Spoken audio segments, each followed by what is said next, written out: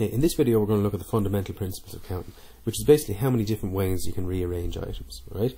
Before I do that though, I'm just going to look at list and outcomes. Right. So we have a menu here, and the question is how many different three-course meals can be had from this menu? Well, I could have soup, beef and um, sorry, not soup, beef and chicken, soup, beef, soup, beef and ice cream. I could have soup, beef and pie. I could also have soup, chicken and ice cream or soup, chicken and pie. I could have vol beef and ice cream, vol beef pie, or vol chicken ice cream, vol chicken pie. So that's one, two, three, four, five, six, seven, eight different um, meals I can have from eight different three course meals I can have from this menu. Okay, so that's how I'd list items. However, if I was just asked how many different um, course meals I could have in this menu, the simplest way to do it would be I could have two starters, two main courses, two desserts, and if I multiply the three numbers together, I would get 8, okay, which is the same as this. Alright? Let's go on to our dog race. So we have six dogs in a race and we're asked how many different ways can these dogs finish in the race. So this dog could come first, this could come second, this could come third, this guy fourth, this guy fifth, this guy sixth. So that's one way they could finish. They could also finish first, second, third, fourth, fifth, sixth. There's another way. So there's two ways they could finish. There's a lot of different ways these dogs could finish though. So how do I find out how many different ways altogether they can finish? Well, we're looking at how many different ways all the dogs can finish. So we're looking at six places, first, second, third, fourth, fifth and sixth. So I start out by drawing six boxes. Now, here's the first box. So we're looking at how many different dogs can finish in first place. Well, there's six dogs, so there's six dogs can finish in first place. Now let's pretend this dog finished first. Now, how many choices have I for dogs to finish second place? Remember, one of them's already after finishing first. So that means I have five dogs left that can finish second. Let's say he finishes second. Now I have four dogs who can finish third. Let's say it's him. three dogs who can finish fourth. Let's say it's him. I have two dogs who can finish second last, which let's say it's him. And then I have one dog, which is him, who can finish last. Right? And all I do then is multiply the six numbers and that is 720 so 720 ways those dogs can finish. Alright um, let's say if I was asked how many different ways those dogs can finish in first, second and third place. Well first, second and third place means I'm only looking at three places. Again six dogs can finish first five and four. Okay so that's 120 different ways now let's put in some stipulations. Right? Stipulations are like rules.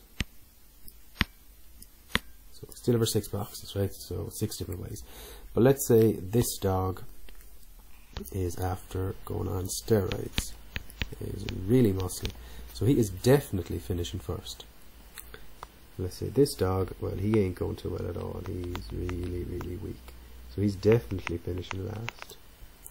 Definitely finishing first, definitely finishing last. Okay, so now, how many options have I of dogs to finish first?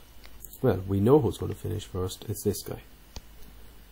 And we know this guy is going to finish last, so we put in this guy. Okay? So we always start with what we know. Now, how many dogs have we left? We've four. So that means we've four dogs who could finish second, three, two, and one. Okay? And we multiply and that's 4 by 3 which is 12 24 okay. Let's keep going. One more.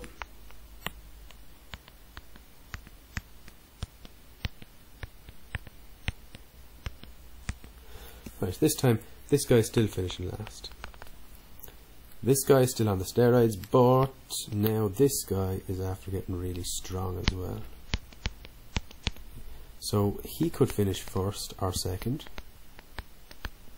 And this guy could finish first or second. So we're not quite sure. Let's start with what we do know though. This guy's finishing last. Now, one of these two guys is going to finish first. So how many options have I of finished of uh, Dog finishing first. Well, I, I have two now. So let's say he finishes first. Now, how many options have I of finishing second? Well, remember we said these two dogs, one of them's going to finish first and the other's going to finish second. So if one of them finishes first, the other has to finish second. So one. So now after dealing with this dog, this dog, and this dog. So how many options have I now in third place? It's three. Let's say it's this dog finishes third, second, or sorry, two, and one, and we'll multiply. Okay, and we have two multiplied by one is two, three, twelve. Okay, so that is twelve. Okay. Right, last question. Um, I'm going to ask you how many different ways can I rearrange the letters Fethard if no letter can be repeated. So one, two, three, four, five, six, seven letters in Fethard, so seven boxes.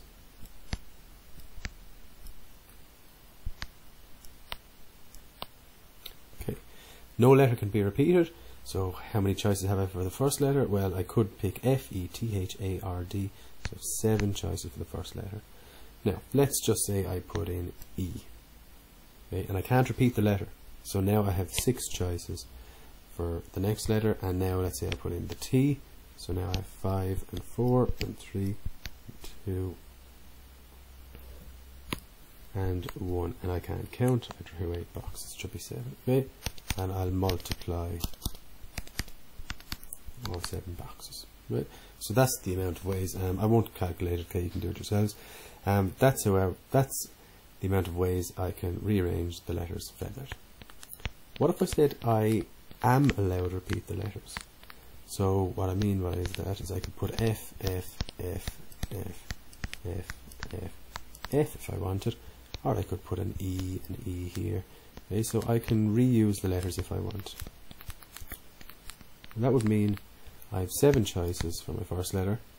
And once I use that, let's say I used E, I can still use E again. So I have seven choices and seven and 7, and 7, and 7, and 7.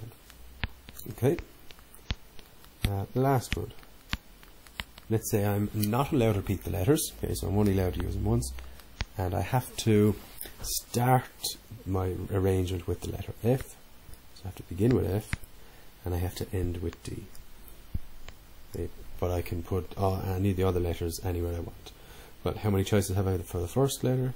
One. I have to use F the last letter I have to use D. So I have to use an F and use an D. So now I have one, two, three, four, five letters left. So five, four, three, two, one. Okay? Um, that is the fundamental principles of counting.